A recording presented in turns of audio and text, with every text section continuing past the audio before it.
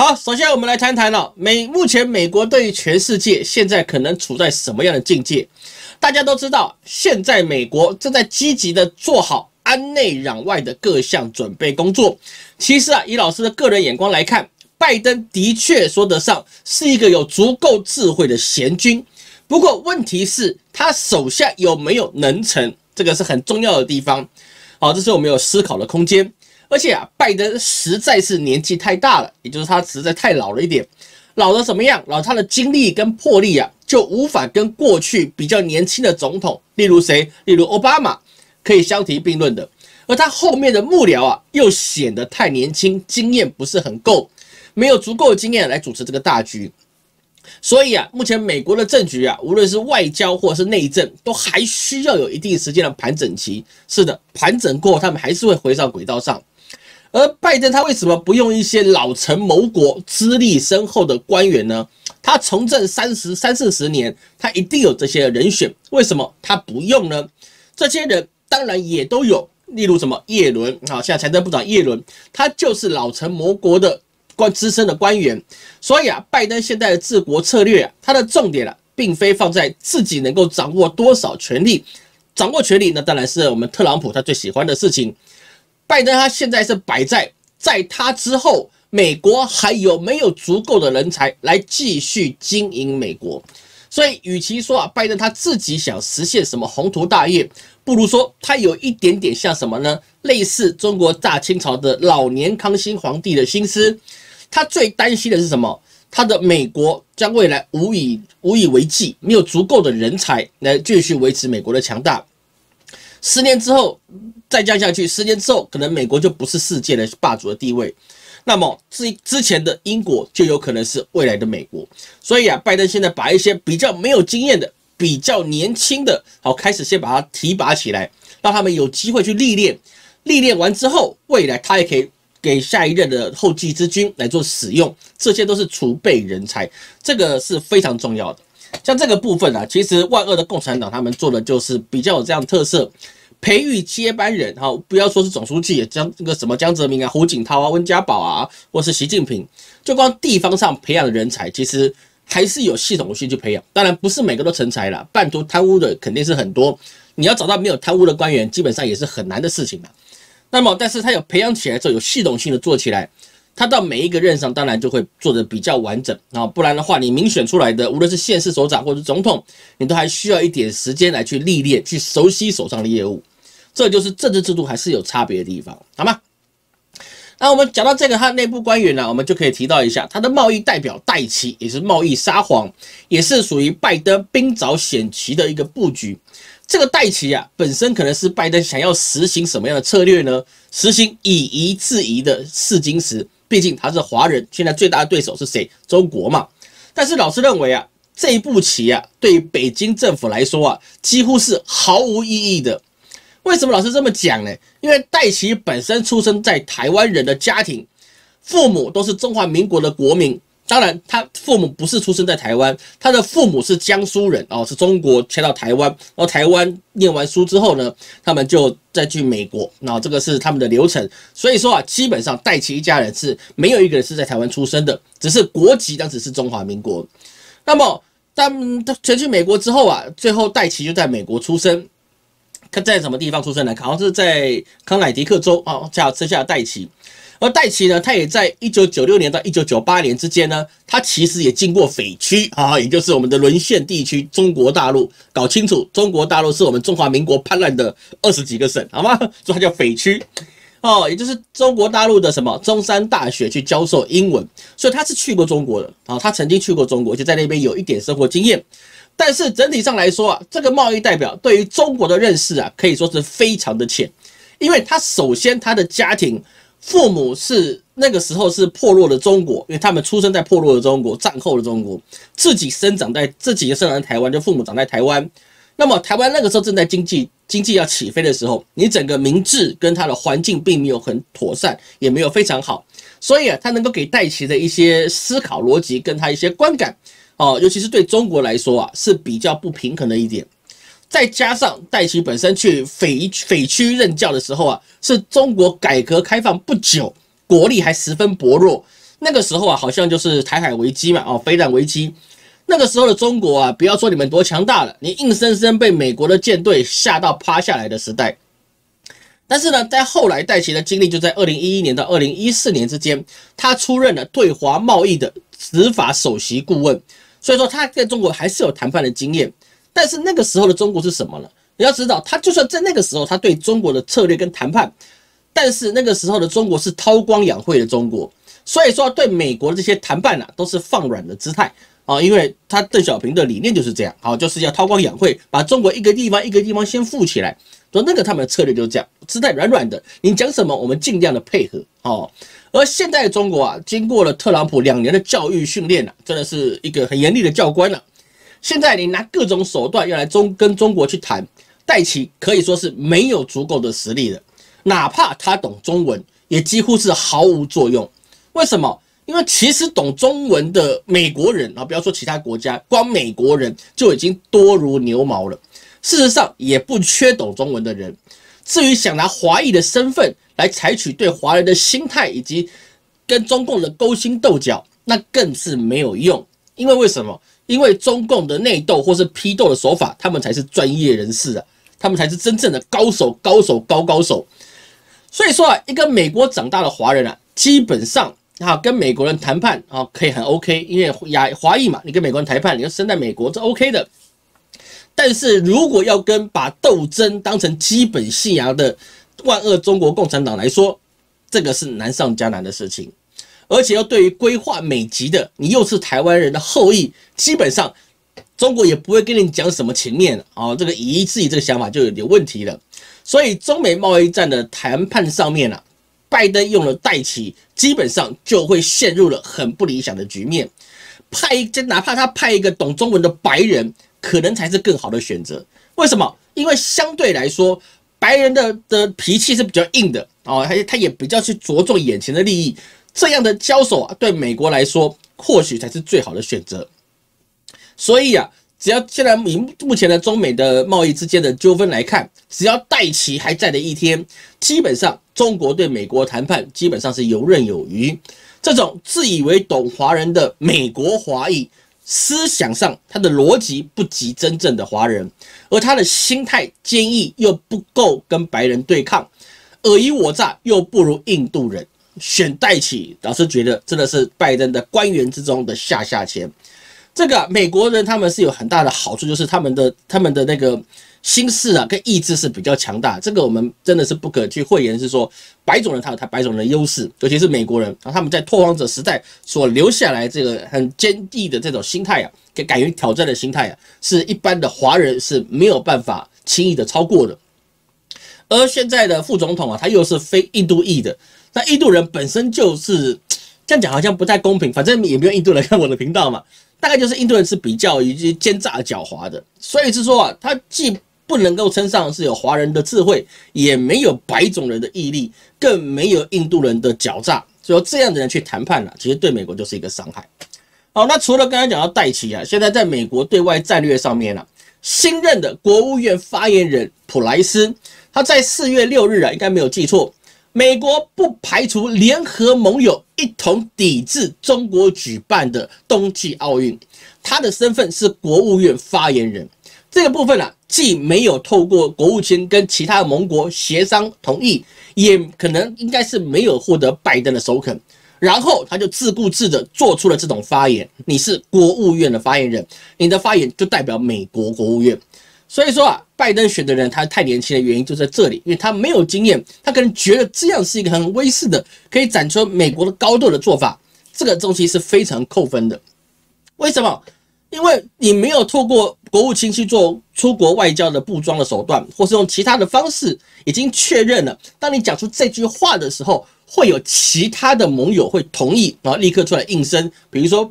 川普讲的话啊，那个澳洲立刻跳出来说：“我支持你，我支持你。”巴西特朗普也说：“我支持你，我支持你。”但是这一次没有所以你什么都没有布装状况之下，你就直接去讲了。那么你现在国务院发言人的这个这个言论啊，你就不是攻击中国这么简单而已，变什么了？变成是你完全不尊重美国的盟友。你美国要去抵制中国，我们也认了。好，这是你的国家内政，我们没有办法去说什么。但是呢，你说的我们就要配合吗？那不配合就不是你的盟友吗？那么这样子外交上的失分呢，对其他的未来，对对其他盟友来说啊，要走了，要跟美国配合走这个防堵中国的路线啊，就会产生了一些抵触的心态。好像我配合你，就是我做你管辖，你可以代替我发言，这是对的吗？这当然是不对的。而对于美国的外交上的进展呢，也并非如同他之前所预想的会这么顺利，回到了这个这个国际舞台上，然后美国说什么，别人都要配合了。例如什么呢？例如对于伊朗的制裁。美国就摔了一个很大的跟头，怎么说呢？因为特朗普他退出了伊核协议，被持续的去制裁伊朗，他是没有经过其他人同意的。他说我就要制裁，谁不配合我的，你就不是我的朋友。这个当一开始别人就会配合，但是呢，现在伊朗在拜登上台的时候啊，各国都向拜登去递出橄榄枝，啊，不如特朗普这个这个人已经退了嘛，不然你也回来加入回来，我们重新谈一谈，那看要不要解除制裁，然后我们让我们的能源呢供应更多元。那么拜登的回应就是怎么样呢？就说要我回去谈也可以，伊朗你必须尊重我美国的想法啊，不是尊重而已，你是必须遵从我美国的想法。我要你干什么，你就得照做，不然我就不跟你谈喽。哦，你要听清楚哦，你要我同意，拿出你的诚意，好吗？那么这个状况啊，其他欧洲国家、欧洲的一些盟国啊，啊也等说美等美国说好之后，大家才能继续谈下去。所以这样的态度啊，对欧盟区的国家而言也是很困扰的，因为欧盟区打算是好好谈，然后解除制裁，然后让大家可以慢慢的恢复融景。但是美国这样一弄，大家到底是要谈还是不谈？啊，到底要不要继续制裁？大家都很难讲。所以当中美之间的关系越趋复杂化，就产生了一件事情呢，中国跟伊朗就谈成了相当于四千亿美元的投资协议，这个我们上周说过。而且除了伊朗啊，一带一路的许多国家。在公在跟中国的规的那些协定里面啊，哦，都是要以人民币作为结汇结算这个的一个币别，所以不只是伊朗的石油，包括一带一路很多国家，你要中国来帮助你，你必须要人民币来做结算。当然，这也不表示啊这些国家都会排除美元。而现实上是结算完了之后，各各自的国家还是会把这些结算完的人民币换成了美元，因为什么？美元在其他地方还是很好用嘛，它还是很香的。但是台面上就已经要开始挑战美元为单一国际货币的霸权地位。而问题在于，美国知道中伊之间签完了协议，但是它的航空母舰又因为我们的伟大长荣的的船啊堵住了苏伊士运河。没有办法过去给你展示一下肌肉，那么你都已经签完了，然后河也通了，事情上就是这么巧，到底是不是人为的？说实在的，这可能几十年甚至上百年之后，回过头来可能才有一些机密的资料可以解密吧。那么现在已经签完了怎么办？只好签完后的隔几天来跟伊朗开什么会呢？开维也纳会议，搞了一个间接会谈。我并不直接跟你谈，我们靠间接的方式啊来做来做四加一的会谈。那么这样就出现一个问题，这样的弹性啊，就可能把美国原来的高度的主动性变成了被动。为什么？因为你是因为中国跟伊朗合作，你才被逼的必须要来去跟伊朗重新谈，不然到时候其他国家都跟伊朗一样，把你美国排除在外，那美国你也吃不到什么好处。所以说啊，现在变成美国必须降尊降尊于贵的来跟伊朗去谈，变成了被动。那速度之快，也会让其他国际上的政府会觉得是说。你这拜登政府好像也没有什么底气嘛，对不对？别人谈好了，你立刻就要变卦，然后低下头来跟别人重新谈。那你之前跟他前面下毒手，你怎么后面要跟别人握握手？不是很奇怪吗？这里面就变成透出一个空气，什么样的空气呢？美国在世界外交这领域上已经没有绝对的优势了。从这个地方我们可以看出来这个问题。而美国在过去的优势中啊，成为世界的霸主道路上啊，其实很多时候只能说命运之神是特别眷顾美国。怎么说呢？二战的结束啊，是因为美国两颗原子弹丢到了日本啊，这个是大家都知道的事情。而整个世界大战，除了珍珠港，几乎完全美国的本土没有波及到，被波及到。所以啊，当全世界大部分的比较先进的国家都饱经了战火的摧残，唯独只有美国。国内完全是安和乐利哦，还出现了美国队长，对不对？保存了国内的实力，进而可以在战后的时候快速发展，并且可以从英国人的手上、日不落帝国的女王手上抢到了世界货币的宝座，这个是一个非常重要的一个事情。而时间转到了现在啊，其实现在这个世世界上也发生了类似二战时期的状态，让世界的权力核心啊可能要重新洗牌。但是引发这场变化的，却不像过去二次世界大战一样所熟知的这些热兵器，还有我们军事的强度，而是变成了看不到的敌人，改变了这一切。也就是什么呢？也就是新冠疫情，迫使了世界必须进入了另外一轮的洗牌以及动荡。有长期追老师频道的朋友啊，就一定知道，美国在新冠疫情肆虐之下，因为这个病病病这个病啊，所病亡的人数啊。已经超过了二战的时期阵亡的美国士兵的总和。一场瘟疫让美国牺牲了比战争的时候还要多的性命。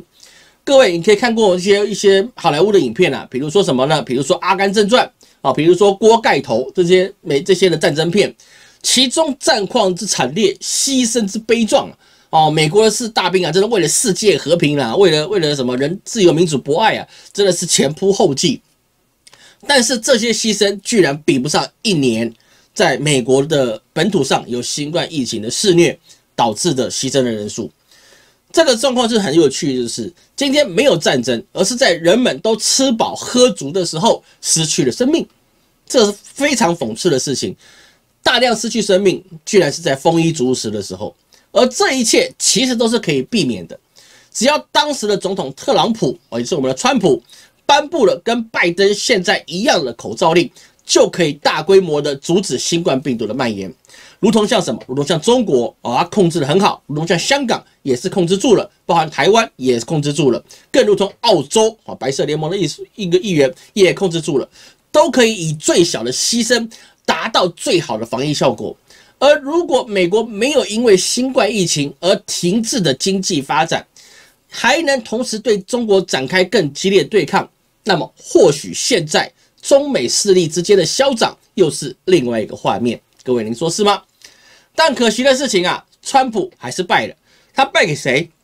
他不是败给拜登，他是败给了疫情，输给了什么？输给了输给了疫情之外，也输给了他自己。输什么呢？他也他也输给他自己的老美国的精神，也就是只要我想。没有什么不可以，就像老师刚刚讲到的拓荒者精神，就连上帝都要站在美国人这边。为什么？God is white，哎，上帝是白人，所以是说没有戴上口罩，也没有积极的防疫，更没有避免欧洲的疫情传入美国，让整个白色联盟啊，居然都被看不见的敌人变怎么样？一一锅端一勺烩了，加上随意的退出了。各种国际的联盟撤军，让国际之间呢开始无法对美国的说法照单全收。就如同老师在二零一九年了，应该是那个时候所做的中美贸易战系列之中所预测到的。有有兴趣的可以回去拉开看来一下，美国将会在特朗普的手上失去了国际对美国的信任。过两年的现在，好像似乎也应验了。我们过去所看到的刺激房贷以及雷曼兄弟所引发的国际金融海啸。嗯全世界姑且对美国的亏损是照单全收，应该是被逼的照单全收。但是未来的发展，美国真的还能够以此去号令天下吗？真的能够无限制的消耗全世界的经济吗？就是美国肯，就是澳洲肯，德国也不肯，就是德国也肯了，法国也不肯。马克宏可不是吃素的，就是法国也愿意，中国。以及中国所领导的一带一路的国家联盟，大家也不肯。而最重要的事情是啊，不仅仅只是美国的信誉受到了质疑，美国人分享的利润也不复以往，对国际 GDP 的供应也是逐渐的往下滑。过去大家愿意配合美国，很大的原因也是很简单，是什么呢？美元的香味足够让大家可以跟着大哥走。对不对？你只要配合美国这老大哥，有钱有粮，还有兵器在手，还卖你武器，对不对？但是现在大哥啊，变成是说，过去他可以发钱给你，现在这个大哥不一样，他自己欠债也就算了，还希望小弟来帮忙还债。这样的大哥，你要大家怎么去挺你，对不对？除了铁杆兄弟之外，其他的小弟都会去掂量掂量。这大哥，你现在不给我钱花了，你还要我去外面赚钱来孝敬你？诶，这个想法就怪怪的，那我为什么一定要孝敬你呢？一定要去忠于你的决定呢？大家要去想。而美国有没有铁杆兄弟？还是有啊？是谁呢？澳洲，它肯定是头马头牌了。澳洲啊，跟着美国声讨了中国所遭遇到的中国在经济上面的打击。美国除了肯定中国，你真是自由民主的好伙伴，除此之外，他有去去给予澳洲其他的补偿吗？澳洲的红酒，美国有照单全收，把中国的份额给美国自己全部吃掉吗？没有。澳洲失去中国的木材市场，那还有煤矿量，那美国有没有把它吃下来？没有。为什么？因为美国自己就有，就是美国也没有，加拿大也有。所以无论如何，加拿大还是得靠近美国多一点。尽管加拿大可能对美国哦那个口服心不服，但是身体还是比较老实一点的。为什么呢？毕竟他们两个两个国家的国土是接壤的，有很多的商业往来啊。加拿大还是需要美国多一点，毕竟。美国是加拿大最大的贸易国家，所以加拿大无论如何啊，还是必须跟美国一起站队。而除了白色联盟外啊，俄罗斯以乌克兰的问题啊，还有南海跟台海的问题，也现在也在挑战拜登政府。所以说，我们看到除了外交上的兵困马乏，更重要的事情是，美国现在的国内大基建法案并没有如预期般的快速通过。拜登全力的希望可以快速的通过这些法案。一毛不差的赶快施行，然后呢，为美国的基础建设赶快把它铺建起来。为什么？因为实质上的建设已经大大的落后于中国。如果只一昧的使用了什么外交的手段，或者是制裁中国企业的方法，或是组成白色联盟来去做防御，去来阻止什么？来阻止中国的崛起，去超越美国，这基本上是难以做到的事情。其实美国自己也很清楚，这是难以做到的事情。关键就在于国内的基础建设，你基础建设，如果你是非常强大哦，那这个关键就可以让美国可以迅速的发展。为什么？你大大型的建设方案，你就造成大量的劳动力，你的就业就没有什么太大的问题，整体就业率的维持就可以维持在一个低档，就是失业率低档，就业率高档。所以整体来说啊，美国如果没有提升自我基础建设，莫说中国。告诉你，未来连可能连印度都未来的二三十年以后都有可能可以超越美国，因为目前的印度啊，也在努力的跟中国早期一样去求取求取那些外资，赶快进驻印度，给你什么优惠，给你便宜的人工，给你的补助，好免税，什么都愿意给你。早期中国不就这样吗？所以才吸引了一大堆台湾人跟香港人，然后后面再前仆后继各各国的洋人也都进去，怎么样继续来去赚钱？那印度也会做这件事情，各位千万不要小看印度。印度现在不是中国的对手，但是不代表三四十年之后，美国就是印度的对手。人口的质量跟含量不可同日而语的，好吗？那么一来一往啊，美国如果没有趁现在的强大，赶快建设内部的软硬体，包含了教育水准的提升。各位很多人很觉得美国一定都很多，美国都很聪明，对不对？小孩子三岁就会讲英讲英文，对不对？是不是？他好像觉得会觉得美国都一切都是好的，没有，其实没有。很多华人去也觉得说美国很好，那是因为你住在富人区。哦，很多的移民到了美国的，都说啊，美国多好多好啊，连这个中国才比不上，台湾也比不上。那是因为你你家里有钱，不是你比较有本事，是你家里有钱，你可以住在富人区。你说治安很好，或是其他那很好，那是因为你住在富人区，本身的治安环境就好。你去跑到一些平民住的地方，你晚上十点在路上走，单身女子在路上走，你的危险性一定很大。如果你刚好又是皮肤黑的，像老师这样，那你遇到的问题会更大，对不对？所以说，他的教育其实并没有完全的跟上。精英教育就是希望造成了百分之十的精英去统领百分之九十的渔民，就算你们在高中毕业就好，你也不用懂太多，你只要会打篮球，打了 football，然后打篮球啊，你只要体育好啊，还有肯努力。有就业率，对不对？当个中产阶级，跟你催眠这些事情，然后呢，其他的最大利益给这十趴的精英去做。